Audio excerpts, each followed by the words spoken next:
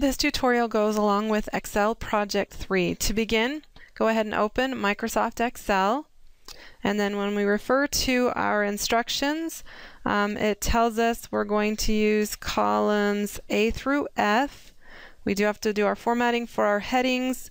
We are going to use the internet to find pricing on our automobiles. Um, and then we're going to learn how to do subtraction to find our sold price and then we're going to do some extra formatting. So we'll get everything set up and then we'll look back to our instructions step by step to make sure we don't skip anything. In A1, turn your cap lock on and key in automobiles. We don't have a subheading, so we'll skip row 2. That takes us down to row 3.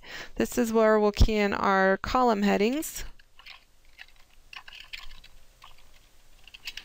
You can just hit a tab after you type each one to take you to the next column.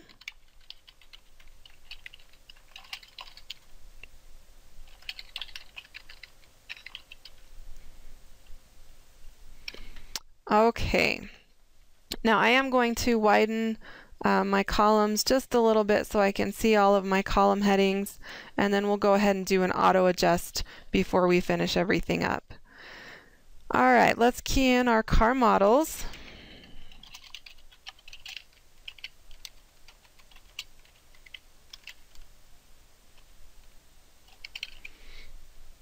And then we'll key in our car makes.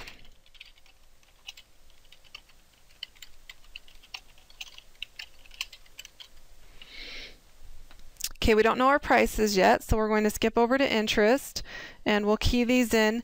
Now when we key in our interest rates, we need to be careful um, and key them in correctly. So we either have to type the percentage symbol in or we have to type them as a decimal. So I'm going to type them in as, as decimal. So I'm going to do 0 0.055, 0.023, 0.041, 0.104, 0.045.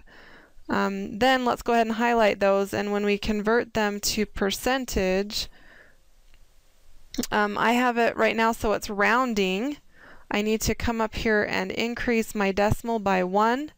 Then I should have 5.5%, 2.3%, 4.1%, 10.4%, and 4.5%. So just make sure that one way or another you get that percent symbol in there. Okay, then we're going to type in our date sold. When I key these in, you'll notice that it's trying to change the date for me. So after I get them keyed in, I am going to have to go back and change the date format.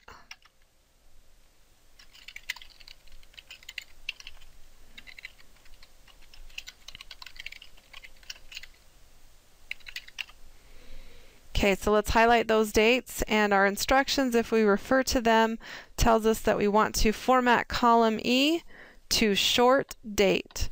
So I'm going to go up to my drop down and I'm going to look, do I happen to have short date as an option? I sure do, so I'll click on that and it formats them this way. Now this does not match the book, so be very careful when you're doing that. Um, we want it to be short date for sure, so it'll look a little bit different than what's in the book. Okay, and we don't know our sold price yet either. All right, let's go ahead and launch the internet.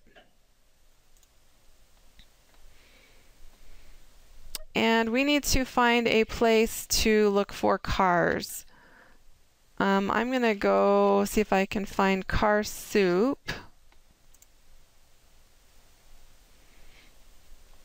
And over here on the right, we have a place that we can do some searching. So our first one that we want is a Nissan. And then the model is an Altima.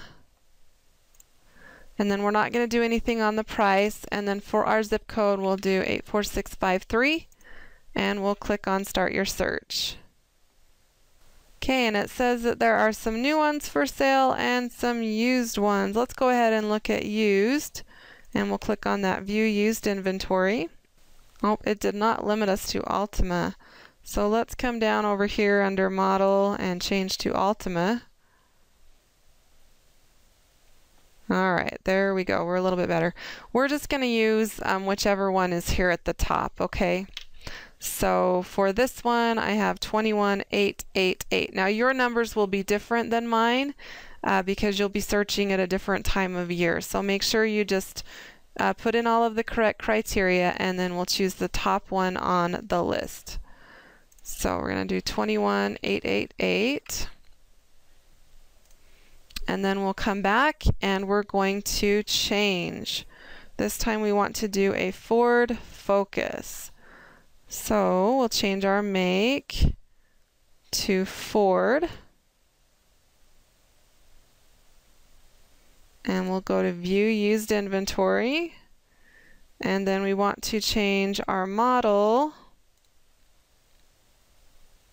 So we'll scroll down. And we want to do the focus. I have to expand that.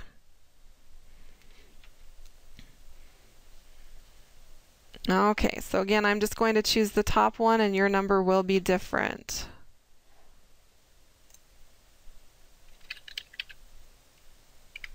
Okay, you're going to go ahead and continue that process and find amounts for the other three cars.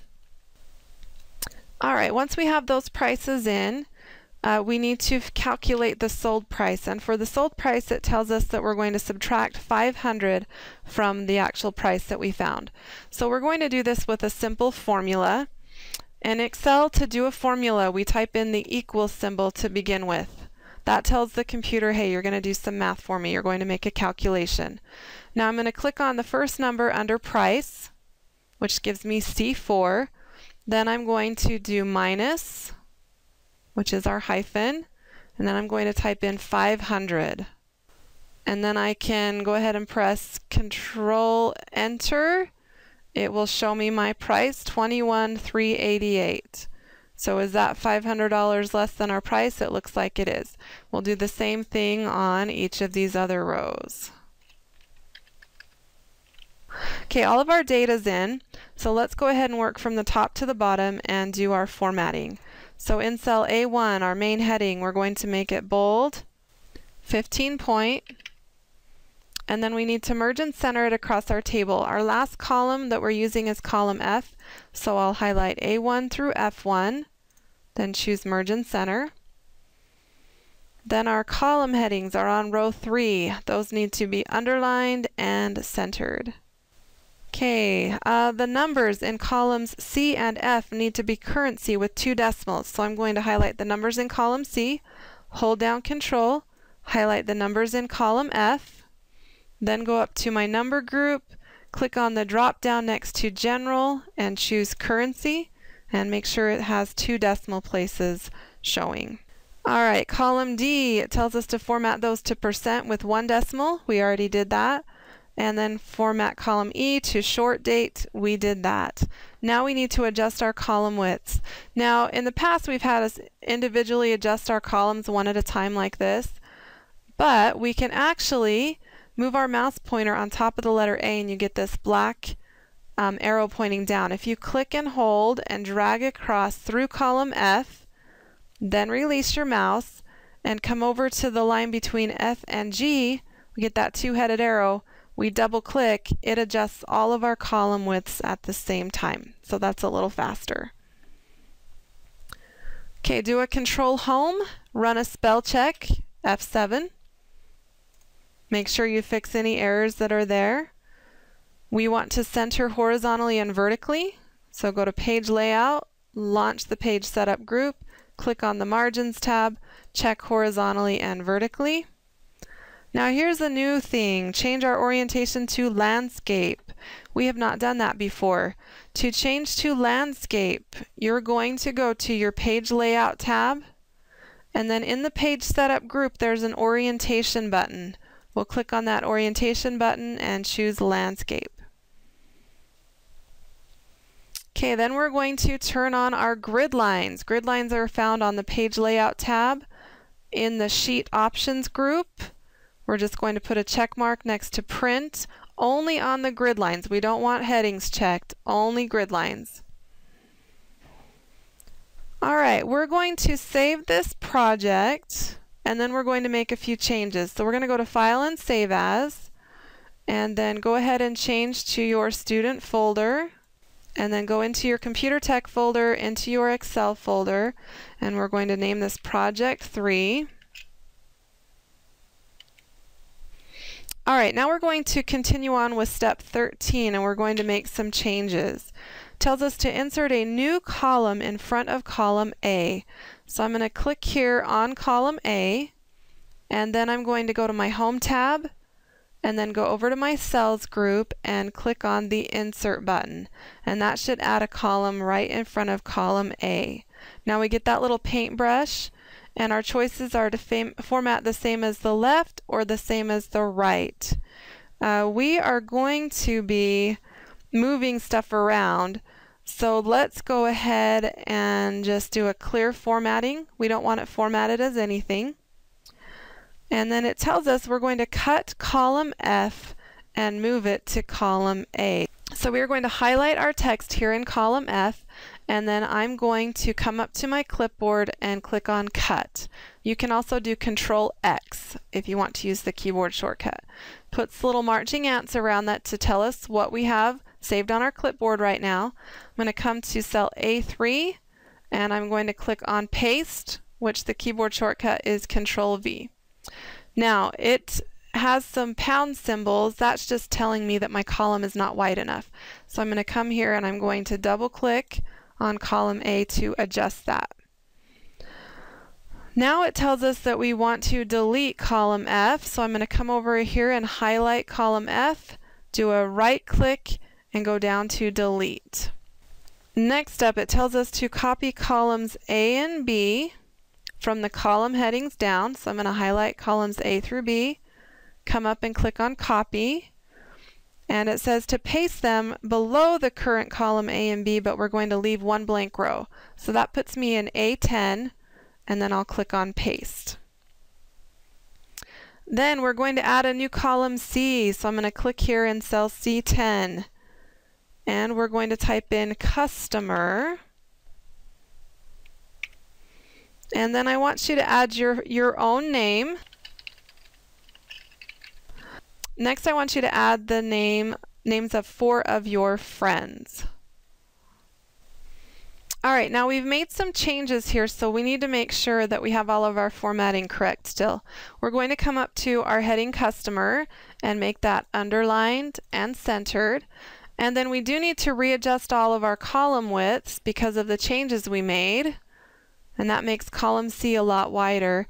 Now if we look at our heading automobiles, it is not centered over our entire table anymore because it's not centered over A1.